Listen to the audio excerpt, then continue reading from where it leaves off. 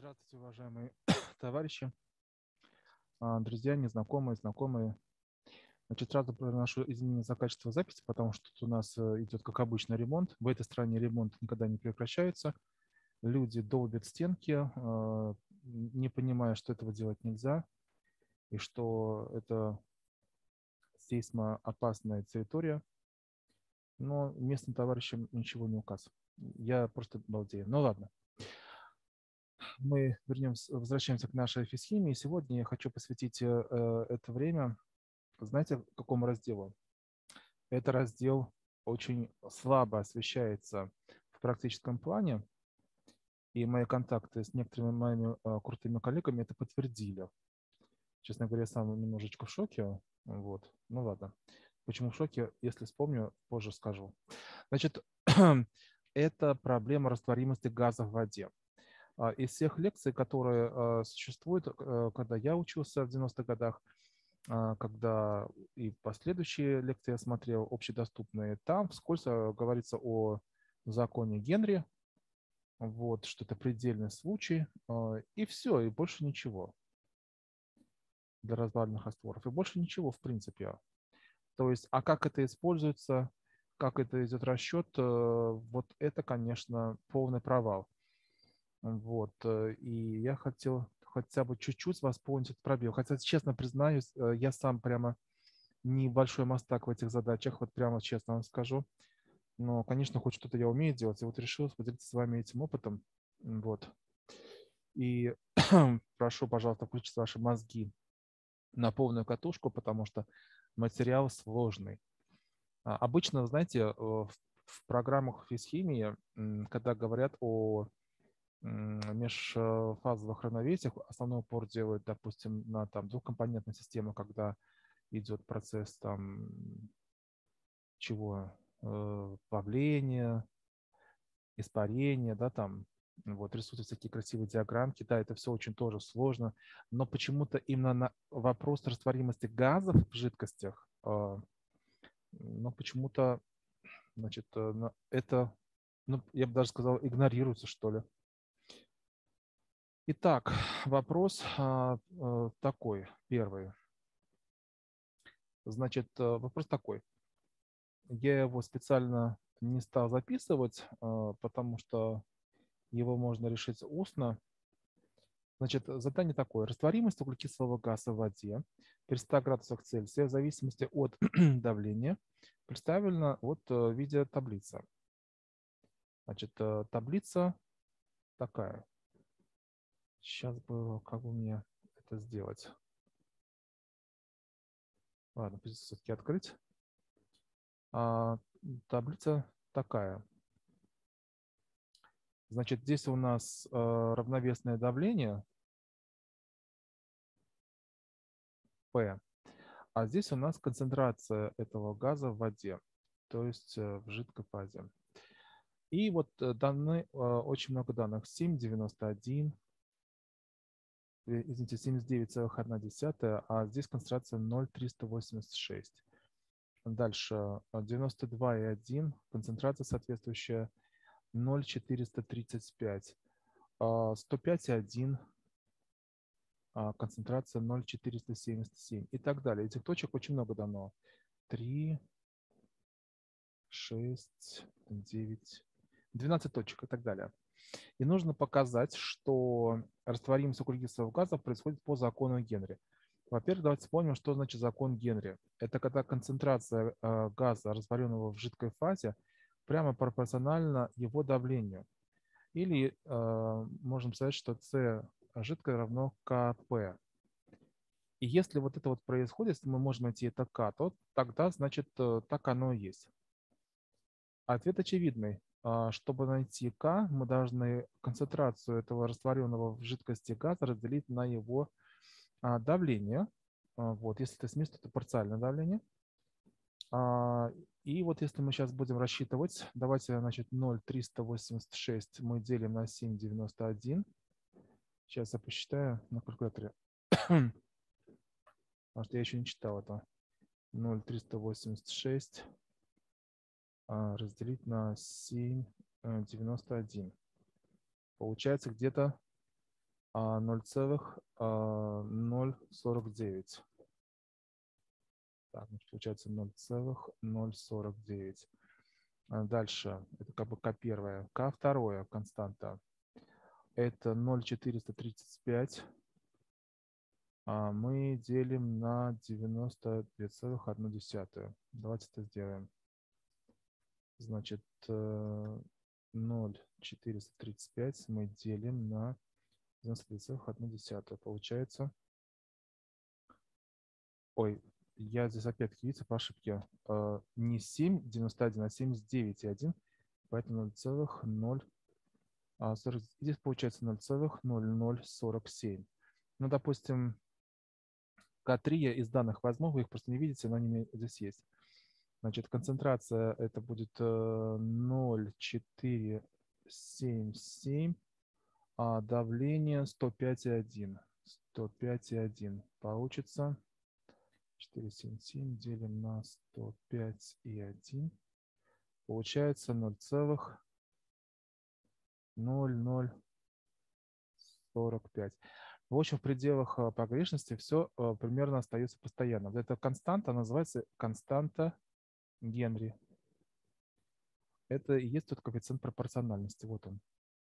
То есть, по большому счету, С э, жидкость равно константа Генри, умноженное на P. Вот оно.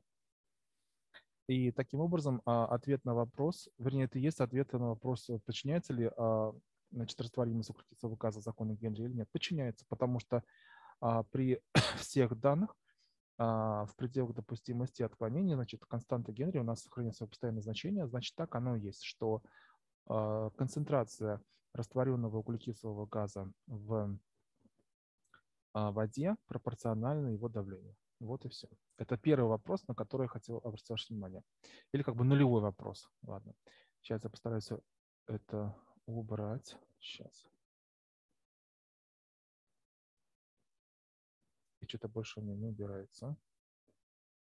А, ну ладно, сейчас. Давайте заново сделаем. Быстренько. И вот э, на горизонте появляется э, первая задача. Первая задача. А, вот она. Первая задача.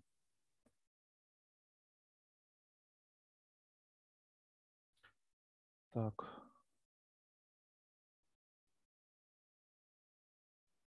Значит, задача такая. 1 литр воды, 1 литр воды насыщен углекислым газом при 20 градусах а, Цельсия под таким-то давлением. Какой объем займет растворенный газ, а, если а, выделить его из воды и привести к нормальным условиям? Растворимость углекислого газа при данной температуре равна столько-то миллилитров 100 миллилитрах воды. Значит, я хочу, чтобы вы поняли, что все, что значит, состояние газа до того, как он э, вошел в жидкую фазу, отличается от состояния газа, когда он уже вошел и растворился э, в жидкой фазе. Вот это как бы вот по, совсем по-простому, если говорить. И мы должны научиться э, вот переходить, э, рассчитывать э, свойства газа из э, жидкой фазы, вернее, из, газообразной фазы при жидкой. Вот как они меняют эти свойства, мы должны научиться это делать. Но хотя бы немножко. Смотрите, у нас растворимость это 0,171 э, 0,171 литр. Я сразу перевел миллилитр в литр. 0,171 литр СО2 в 0,1 литре воды. Вот. Вот. Но обычно мы рассчитываем, работаем а, с коэффициентами, приходящимися на 1 литр. То есть мы э, на 10 умножим, получится 1,71 литра СО2 на 1 литр воды. А, вот оно. Значит, в одном литре воды, получается, содержится вот столько литров СО2.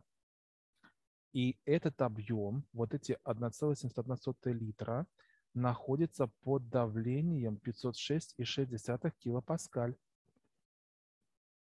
А при выделении газа, этого газа из жидкой фазы в газовую давление уже атмосферное. Вот в чем прикол. Видите, внутри жидкости а, он находится под вот этим давлением, а когда газ выходит, естественно, из-за того, что давление у нас другое, то и объем у нас меняется. Однако у нас температура постоянная. Так, температура у нас постоянная, поэтому мы можем применить, соответственно, для изотермического процесса выражение, что P1V1 равно P2V2.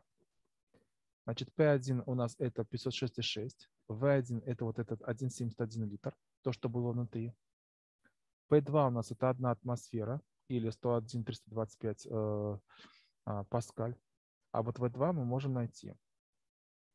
Давайте вот численное значение запишем. Значит, P1 у нас это 506 и 6 на 10 третьей степени паскаль, умноженное на вот это 1,71 литра СО2, и это равно 101 325 это атмосферное давление паскаль на вот это вот V2. А, Отсюда V2 равно вот это умножаю на это и делю на это.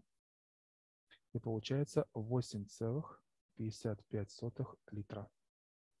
Это и есть, а, значит, э, ответ. Так, а, еще раз, значит, э, какой объем? Да. Угу. Потому что при нормальных условиях у нас э, P равно одной атмосфере. Вот она. Значит, при нормальных условиях у нас что? А, объем а, выделившегося углекислого газа будет 8,55 литра. Это ответ на первый вопрос. А, предлагаю вашему вниманию задачу номер два. Сейчас я ее скопирую.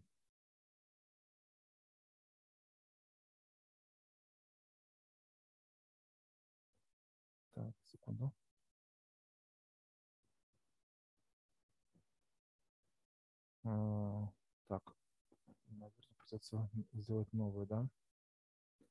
Не сохраним. Вот так вот. Вот так вот.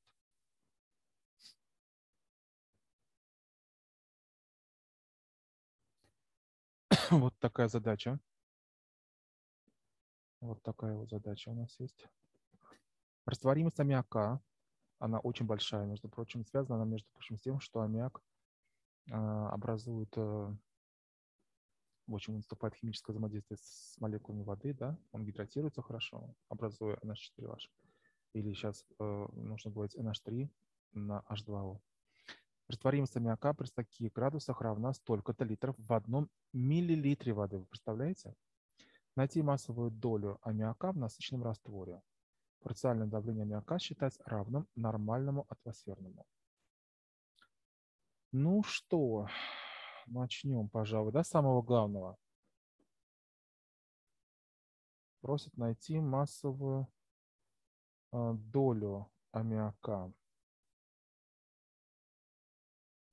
Массовая доля аммиака. А, но давайте сначала напишем уравнение состояния газа, что PV равно m на μ rt. Так? Отсюда масса аммиака, масса аммиака равна, вот эта формула, это P V на μ и делим на RT. Согласны?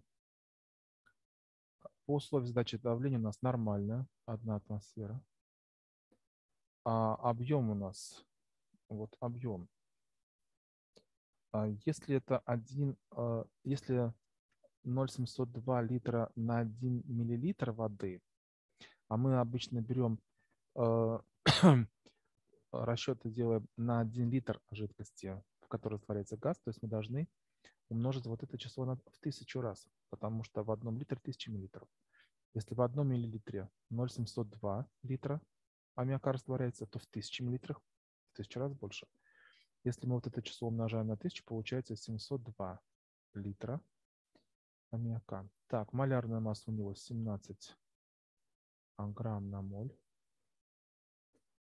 Делим это благополучно на... Раз у нас атмосфера, то это будет 0,082057 а, литр на атмосфера, а, моль на Кельвин. И температура у нас 0 градусов, значит это будет, э, простите, 20 градусов, значит будет 293 Кельвина. Размерности. Кельвин с Кельвином уходит. Моль с молем уходит. А, литр с литром у нас уходит. Атмосфера с атмосферами уходит. Остаются граммы. Все хорошо. Так, это получается у нас 496,37 грамма. Но нас просят найти э, малярную, извините, значит, э, массовую долю, правильно? Значит, массовая доля аммиака. Мы это знаем из, из растворов, из школьной даже программы. Это масса растворенного вещества на, делить на массу массы растворенного вещества на массу растворителя, то есть воды. Массу H2, NH3 мы только что вычислили, это 496,37. 96,37. А масса растворителя, это, то есть 1 литр же, мы в пересчете на 1 литр считаем воды, поэтому это будет 10 э, в третьей степени. Так, э, и получается, что это 0,300, вернее, 3317 десятитысячных или это 33,17%. То есть вот она, значит, э, концентрация аммиака, вернее, не аммиака, а NH3, да, а, в водном растворе. Надеюсь, что, в общем-то, задача не очень сложная пока. Переходим к следующей задаче. Следующая задача. Сейчас я ее скопирую. Задача номер три.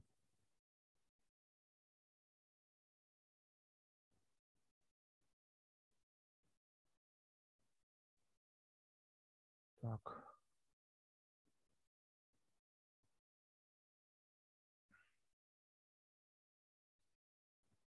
Вот она. Вот она, эта задача. В одном литре воды при 0 градусов Цельсия растворяется 4,62 литра сероводорода. Под каким давлением надо растворить газ, чтобы получить его 5% раствор? Это задача обратная предыдущей. Вот. Давайте с вами напишем, что омега H2S, она равна масса H2S деленное на массу раствора, который складывается из массы H2S и массы воды. Масса растворителя в данном случае. Нам с вами понадобится масса H2S, естественно. Чтобы считать давление, давайте отсюда выразим массу H2S. Это очень примитивная школьная алгебра. Если мы отсюда выразим MH2S, то получится масса воды умноженное на омегу и деленное на единицу минус омега. Так. Нас просят под каким давлением, да? Уравнение состояния берем как э, Менделеева Каперона, поэтому P равно масса H2S э, значит, RT деленное на V. Поехали. У нас э, подставляем вот это значение. В смысле э, выражения вместо MH2S мы посчитали. Это, это MH2O на омега на единицы минус омега. Это вот это. Ну а остальное переписываем. Это RT μ V. μ это, конечно, H2S. И V это тоже H2S, естественно. Ну что, а, пришло время подставлять численные значения. масса воды это 10 в третьей. 0,05 это а, омега, соответственно, здесь это единица минус 0,05. умножаю на 0,082,057 литр, литр атмосфер на моль Кельвин. Я уже не пишу это. Температура у нас 0 градусов, да, поэтому будет 273,15 Кельвин. 34 а, грамм на моль – это у нас малярная масса, и объем у нас, э, сколько там, 4,62, да? Значит, посчитаем, посчитали, и получается, что 7,5 атмосфер. 7,5 атмосфер. То есть вот при таком давлении, если мы будем насыщать воду сероводородом, у нас получится 5% раствор. А если вы не привыкли работать с атмосферами, можно привести а, в Паскале, умножив на 101,325. Это получится 760,54 килопаскаль. То есть нужно будет умножить на 101 325 а, килопаскаль. И тогда а, получится вот это значение. Это ответ на вот эту задачу. Так, надеюсь, что тоже понятно. Переходим к следующему заданию.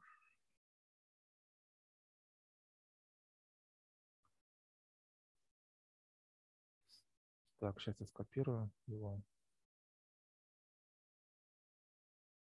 Вот он уже, это задание посложнее.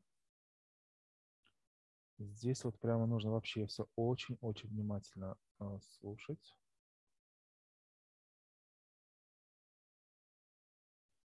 Так.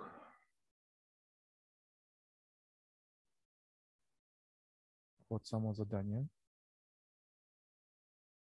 Как говорится, прошу любить и жаловать. Так.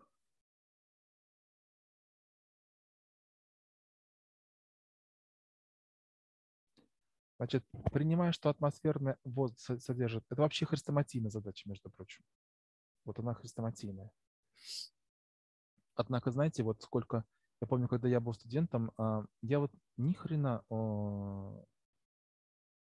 Я хрен кушал как раз, вот, и редькой закусывал, и ничего не понимал, честно говоря.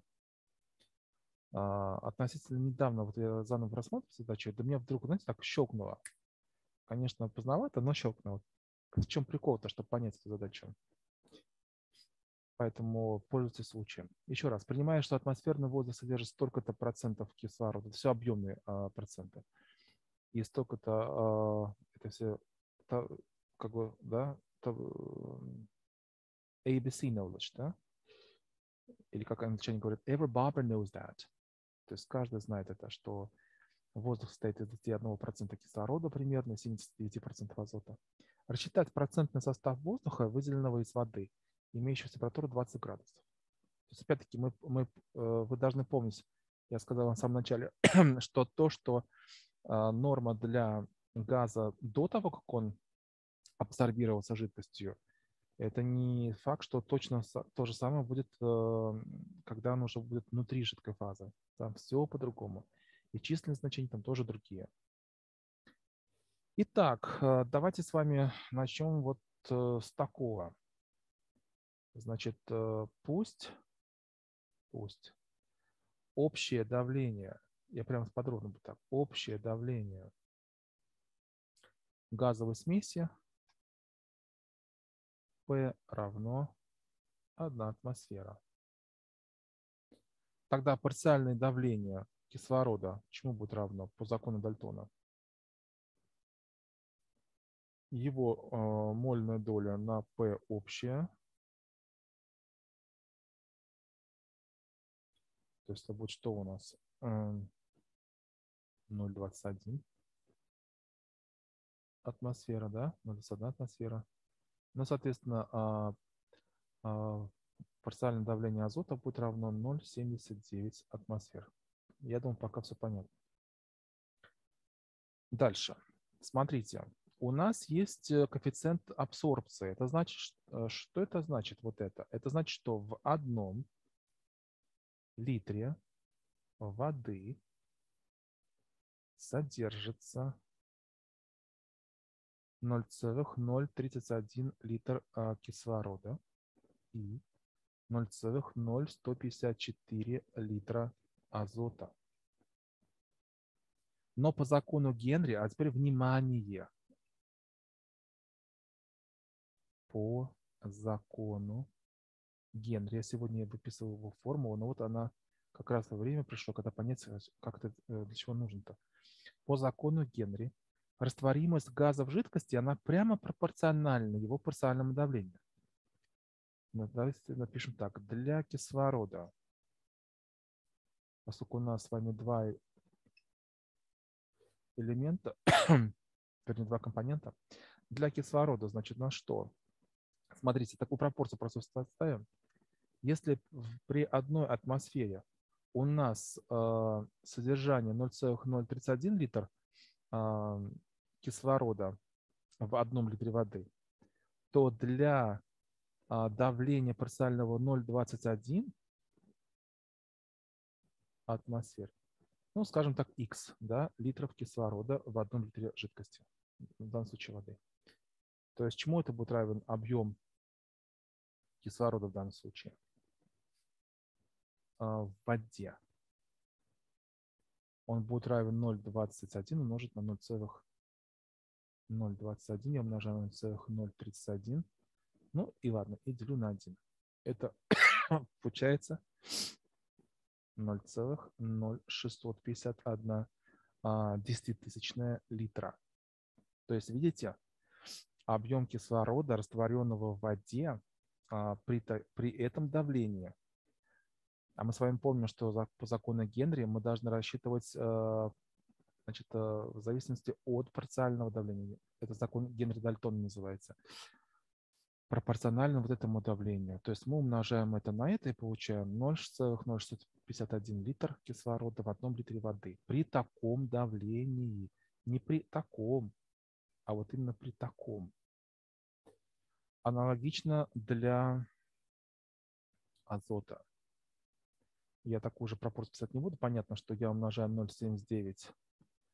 То есть объем азота в воде равен 0,79. Я умножаю на вот это вот 0,0154. И это получается у меня сколько? А, это, это я считал, это сейчас 0,012166 литров, естественно. А, и вот смотрите, вот теперь у нас есть, мы знаем объем растворенного кислорода, мы знаем объем растворенного а, азота, и, соответственно, мы можем посчитать их мольные доли. Мольная доля кислорода равна объем кислорода делим на а, объем кислорода плюс объем азота все как э, прямо до этого, что мы делали. Получается 0,0651 мы делим на 0,0651 плюс 0,012, допустим, 166. Это получается, ну, давайте умножим на 100%, чтобы 100% это было. Так, это у нас получается 34,86.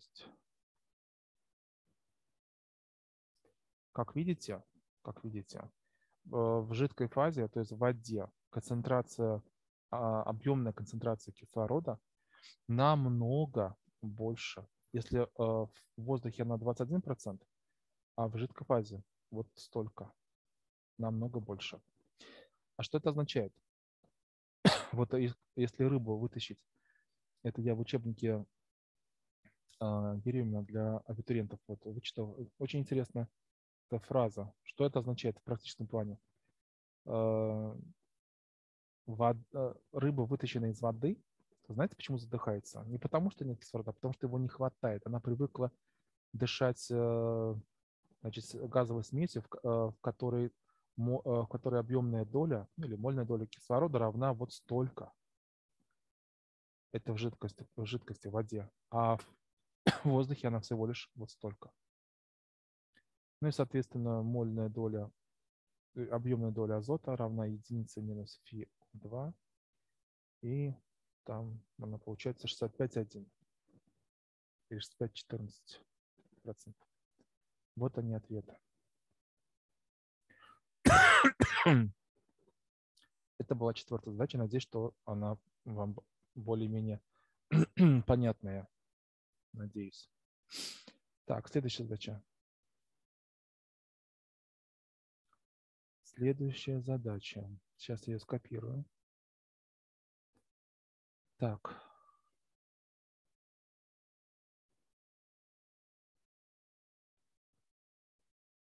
Ну, давайте вот так вот скопируем. Так.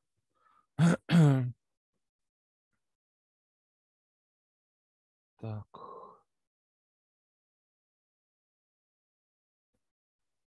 Задача вот такая.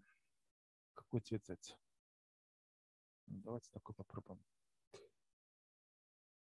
Так, значит, э, задача такая. Коэффициент абсорбции углекислого газа при такой температуре равен 1,71. Здесь должна быть точка. При каком давлении а, растворимость, растворимость э, углекислого газа в воде при той же температуре составит 16 грамм на литр. Вот это вот э, тоже интересная задача. ну, давайте. Сейчас. Коэффициент абсорбции э, углекислого газа равен столько-то. Растворимость столько-то. так. Значит, если у нас э, а, коэффициент абсорбции равен вот столько, это означает, что в одном литре воды содержится 1,71 литра СО2. Это железно. Но она содержится... Э, раз это коэффициент абсорбции, я хочу обратить ваше внимание, коэффициент абсорбции, он рассчитывается а, или пересчитывается, когда температура у нас равна 273 Кельвин, то есть 0 градусов Цельсия, и P 1 атмосфера. Запомните это, пожалуйста. Итак, значит, еще раз. В одном литре воды а, при 0 градусов Цельсия содержится вот столько литров кис, э, углекислого газа. Так. Мы можем таким образом рассчитать, сколько углекислого газа, э, масса углекислого газа. Давайте это сделаем. Из уравнения состояния, значит, МСО2 равно ПВ μ на РТ. Это обычно уравнение Менделеева Паперона. Подставляем. Значит, у нас одна атмосфера. Одна атмосфера. Объем у нас 1,71 литра. А, значит, малярная масса 104 грамм на моль. R это 0,082057 литр на атмосферу, моль на Кельвин. Это вы должны знать наизусть. И температура у нас 273 Кельвина. Объясню, откуда взялось 273 Кельвина. Вот потому что 0 градусов, во-первых, и потом это коэффициент абсорбции. И получается, что это равно у нас 3,36 грамма. Но ну, давайте с вами посмотрим на, вспомним уравнение, ну вот оно даже, да? Уравнение э, состояния. P у нас пропорционально M. Согласны? Вот. P пропорционально M. А что это означает? Чем больше массы, тем больше давления. Или чем больше давления, тем больше массы, да? Можно ставить пропорцию. Давайте такую пропорцию ставим. То есть, когда у нас одна атмосфера, у нас масса 3,36 а, грамм СО2. Согласны? Так. А когда у нас 16 грамм, причем это вообще-то грамм на литр. Объясню, почему на литр. Потому что мы здесь э, литр взяли. Итак, а когда у нас 16 грамм, ну, на литр, то это пусть будет px. Соответственно, px равно 1 а, умножаем на 16, делим на 3,36, и получается это у нас 4,76 а, атмосфер. Опять-таки, кто не любит атмосферу, умножаем на 101,325 и получите килопаскали. Это получается, значит, лучше писать так, или, или 482,5 килопаскаль. Значит, при таком давлении или при, так, ночью при таком давлении, выраженном в разных единицах измерения, у нас э, растворимость этого газа составит 16 грамм на литр. Вот такая задача. Тут я совсем упростил вот эту вот вещь. Ну, по крайней мере, э, понятно, откуда все это берется. Так, а, спасибо за эту задачу. А, переходим к следующей задаче. Сейчас я ее подвину. А, задача тоже такая интересная. Сейчас я скопирую. Так, возвращаемся. Так, вот так вот. Вот так вот.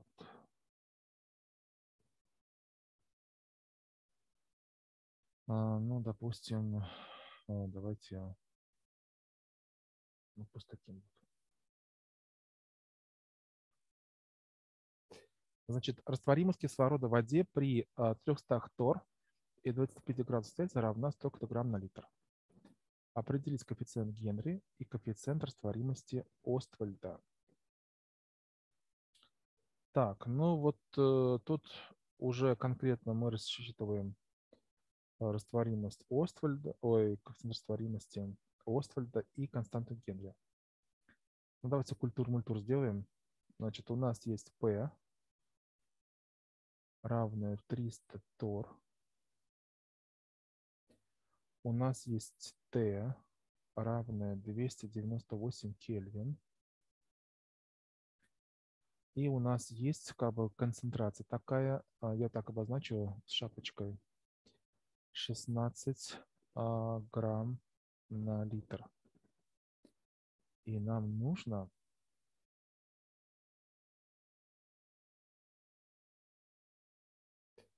нам нужно определить численное значение константы Генри а, в МГУ обозначает, оказывается, вот так вот.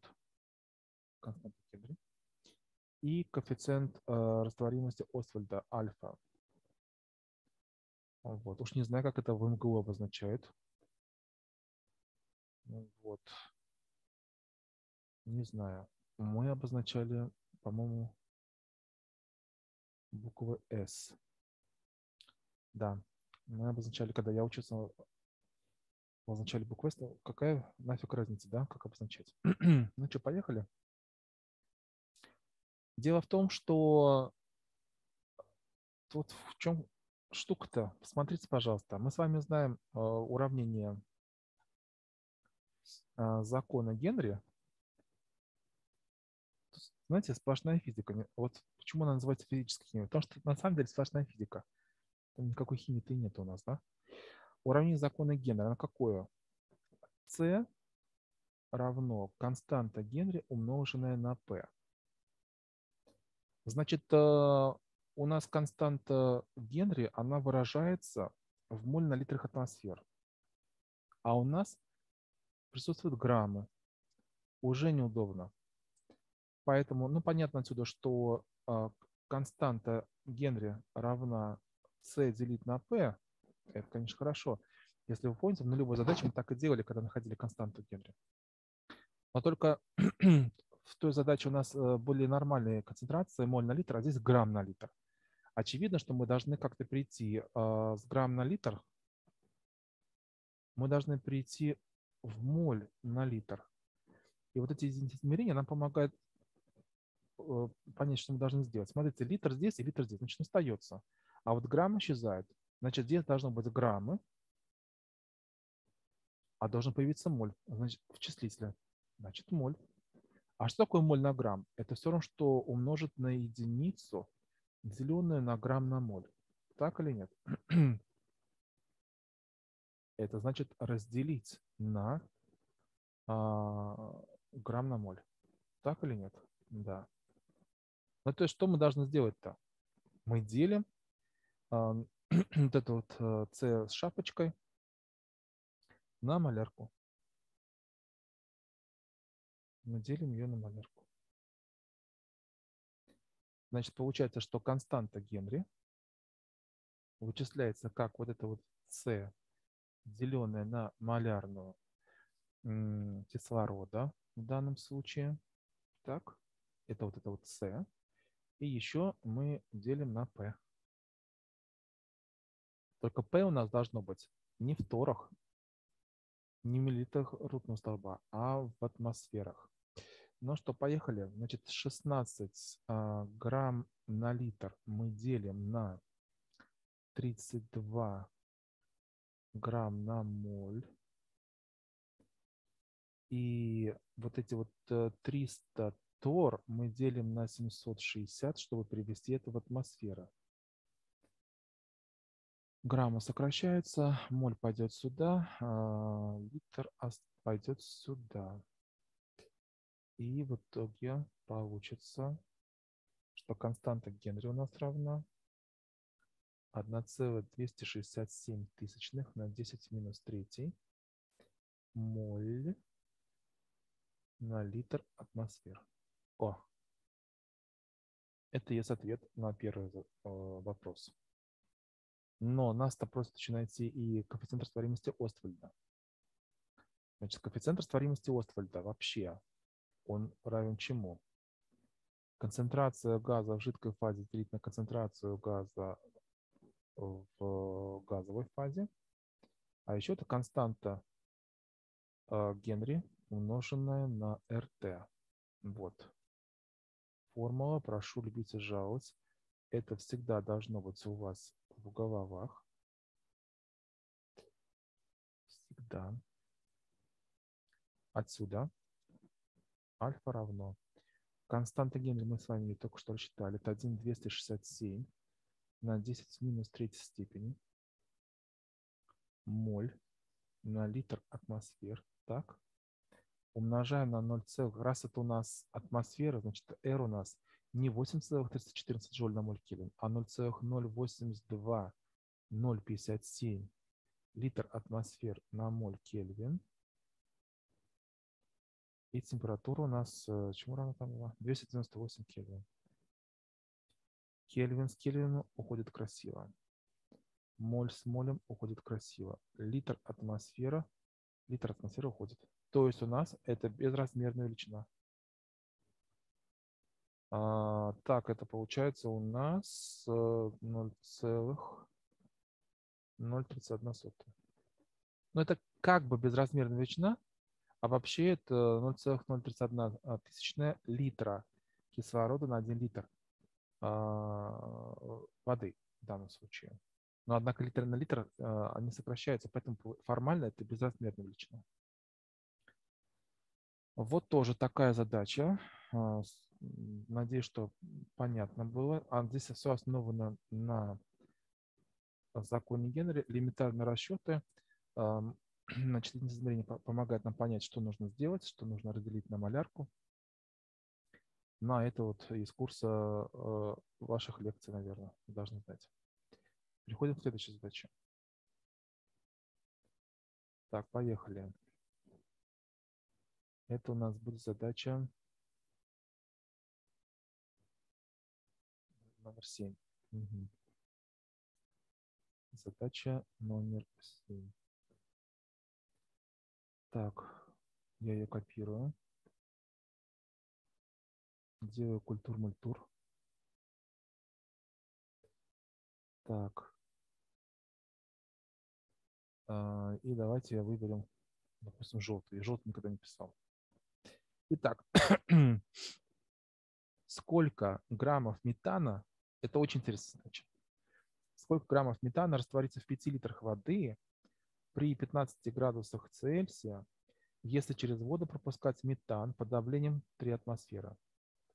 Коэффициент растворимости Оствальда для метана в воде при данной температуре равен столько-то.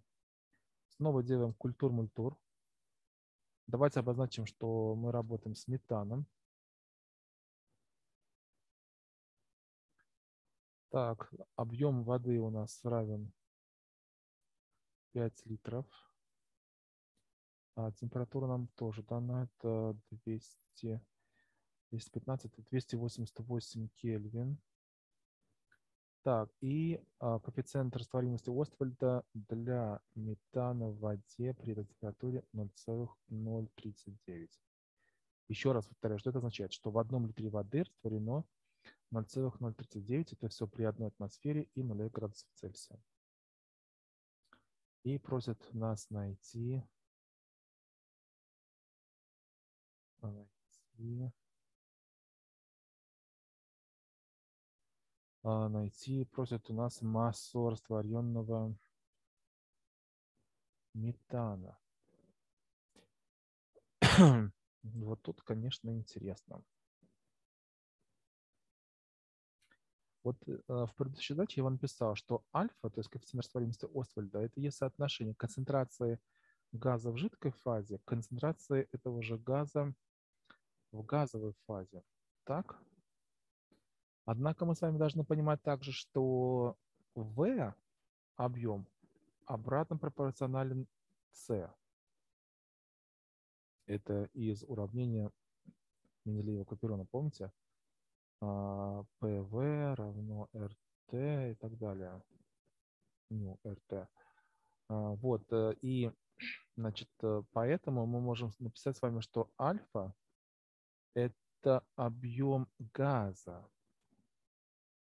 Объем, э, значит, этого газа в газовой фазе на объем этого газа в жидкой фазе. Тогда объем газа у нас чему равен? И отсюда это коэффициент Оствальда, растворимость Оствальда умножить на объем а, жидкости, в которой растворяется этот газ.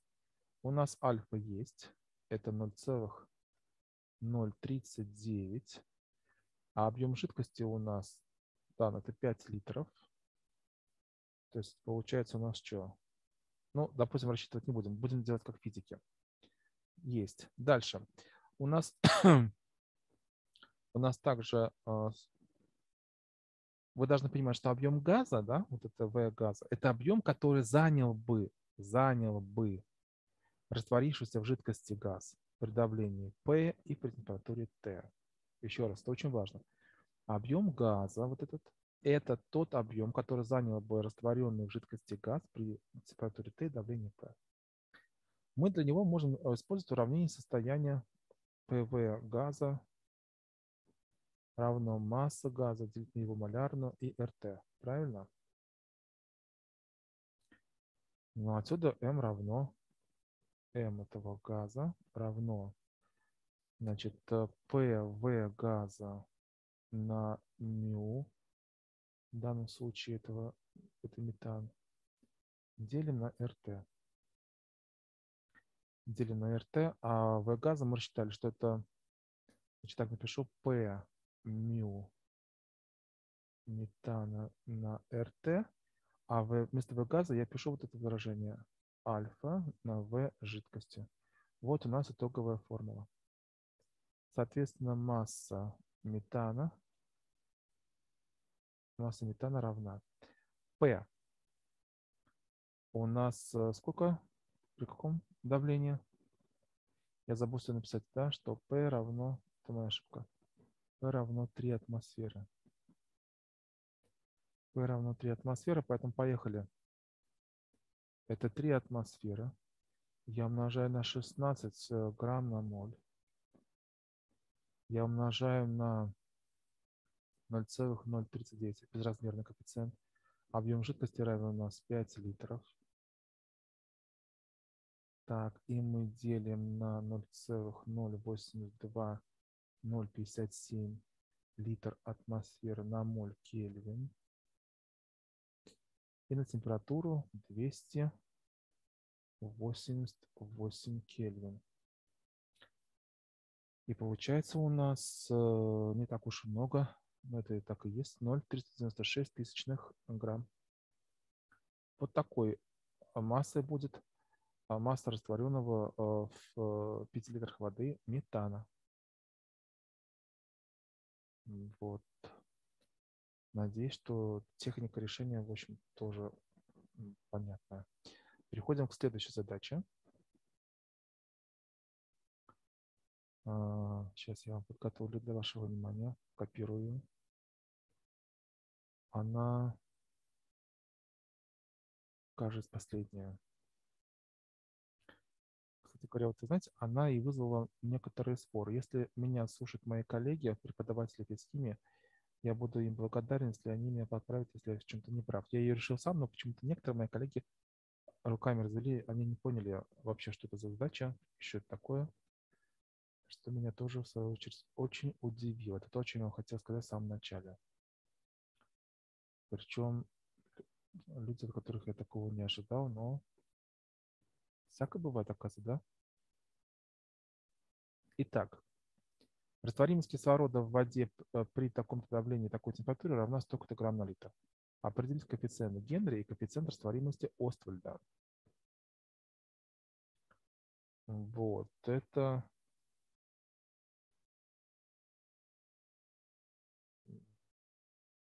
В общем, такая задача.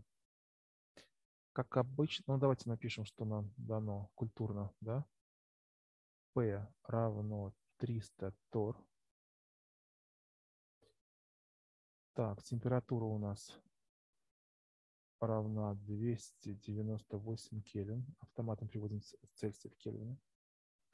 И вот эта растворимость э, с, э, с шапочкой а, кислорода равна 16 грамм на литр.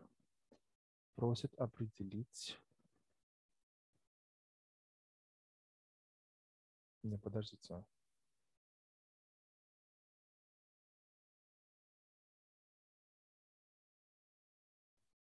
Я это зачем вам уже показывал? Нет, что-то у меня, по-моему, шарики за ролики пошли. Сейчас я гляну, а то я, кажется, вам одно и то же. Ага, точно. Ну что, господа, э, простите меня э, за мою глупость. Я сейчас сделал. Потому что только что я вам эту задачу показывал. Я вам хотел другое показать задачу. Я говорил вам про другую задачу. И, простите, мне сейчас придется, я ее не подготовил в Word,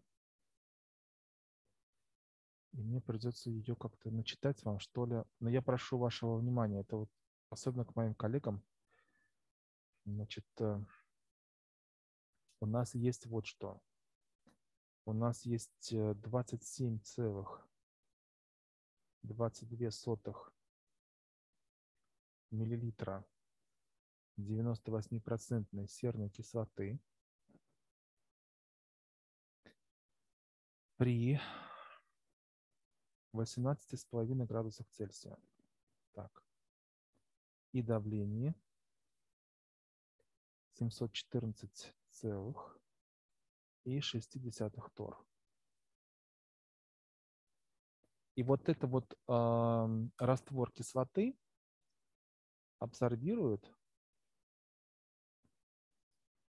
абсорбирует 0,58 а, кубических сантиметров 0,58 кубических сантиметров азота, измеренных при тех же условиях. Те же условия. Еще что за условия? Вот такая температура и вот такое давление. Так. Нас просят вычислить коэффициент растворимости Оствальда и константу э, Генри или что? А, не-не-не. Я прошу прощения. И коэффициент э, абсорбции, э, допустим, бета. Иногда его бета обозначают при 18,5 градусах Цельсия, то есть при той же самой температуре, вот при этой. Значит, давайте посмотрим, что... Сейчас я такую возьму, наверное. Uh, у нас пропорция великое дело, на самом деле. Значит, 27,22 миллилитра раствора абсорбируют или поглощают 0,58 миллилитров азота. Правильно? По условию задачи. А я вам уже в предыдущей задаче говорил, что мы расчеты ведем на 1 литр раствора. Да? Об одном литре это 1000 миллилитров. То есть, а если 1 литр такого раствора кислоты, он абсорбирует x миллилитров азота. Соответственно, у нас x э, чему равен? 0,58 я умножаю на 10 в третьей степени и делю на 27,22. Так? А у меня получается 21,31 а, кубических сантиметров или там миллилитров азота на 1 литр раствора кислоты. Я так подробно-подробно пишу, чтобы вы поняли мою логику мышления. Так, сделали это. Мы с вами знаем что, по определению, что коэффициент, коэффициент абсорбции рассчитывается, рассчитывается на одну атмосферу и 0 градусов Цельсия, то есть 273,15 Кельвин. Так? Это по определению. Поэтому найденный этот объем, вот этот вот, его нужно перевести, пересчитать вот, э, на вот эти условия. Потому что это относится к 18,5 и вот к этому, э, к этим торам. Uh, у нас, смотрите, разное давление, разная температура. То есть у нас как бы состояние 1 есть. У нас есть состояние 1 и состояние 2. Состояние 1 у нас 18,5 градусов Цельсия и 714,6 а, тор. Правильно? А в состоянии 2, ну, если какой-то объем вот этот найденный, я так напишу прямо, 21,31 а, кубических сантиметра азота. Так. А состояние 2 у нас должно быть что? 0 градусов Цельсия. Однако давление 760 тор. И вот нужно определить объем тогда вот этого э, растворенного азота. Что и будет при таких вот условиях коэффициентом абсорбции. Ну, давайте это сделаем. То есть, э, скажем так, P1, V1 деленное на T1 равно P2, V2 деленное на T2. Отсюда V2 равно P1, V1 на T1 умножаем на T2 и делим на P2. Это элементарная математика вот отсюда. Подставляем. P1 у нас это 714,6 тор. Э, не надо переводить э, в атмосферу, потому что здесь у меня тоже торы, они сократятся. V1 у меня 21,31, так. Делим на T1. T1 у нас это 18,5. Так, 18,5. Это сколько у нас получается? Где-то считал.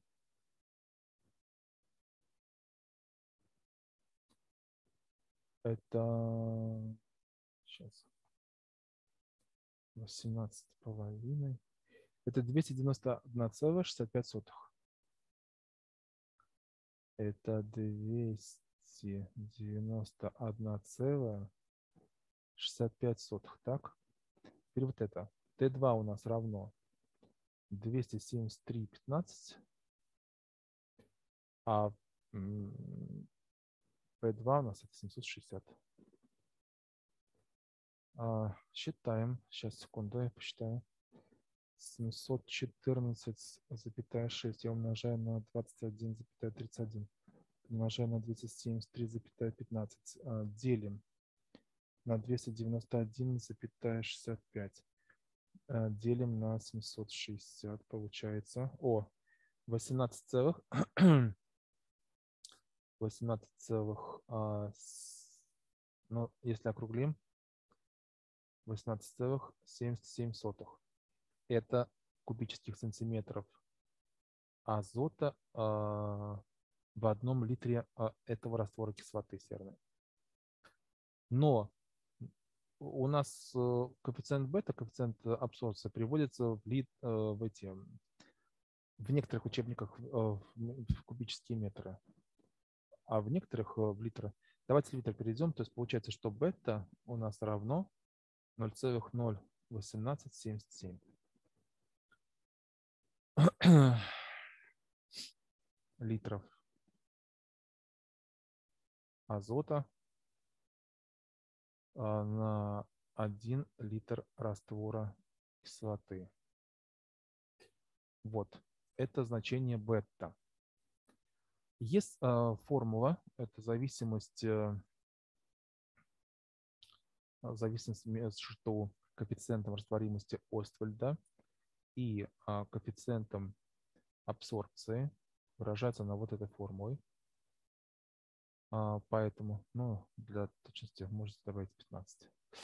А поэтому выражением мы легко можем посчитать альфа, то есть коэффициент растворимости Оствальда. Альфа равно бета умножаю на t и делю на 273 и 15.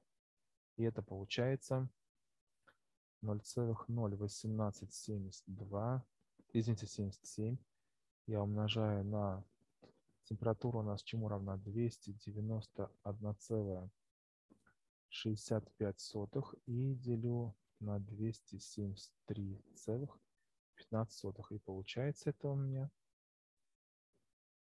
а, ну, где-то 0,02. Вот он, этот коэффициент. Растворимости асфальта. вот и все. А, я, может быть, что-то здесь э, начудил, но мне кажется, по мне так э, вроде бы логика есть на решение. А, очень прошу коллег, которые разбираются в этом вопросе, или экспертов, а, дать свои комментарии в вежливой форме, не в форме какой-то ненависти, как я это часто встречаю на просторах интернета и, и вне его тоже, а в нормальном стиле сказать, извините, мне кажется, здесь нужно сделать так-то, так-то, так-то. А, в общем, да, последнее замечание. Посмотрите на эту формулу, пожалуйста, вот на эту. Дело в том, что в одном случае, когда у нас температура а, жидкой, а, температура равна нулю градусов Цельсия, да, тогда у нас численно коэффициент растворимости Освальда совпадает с коэффициентом абсорбции бунзена бета. Вот так. Спасибо вам большое за ваше внимание. А, я надеюсь, что хоть немножечко, чуть-чуть э, помог вам в, понять, в понимании того, как решаются задачи по растворимости газов.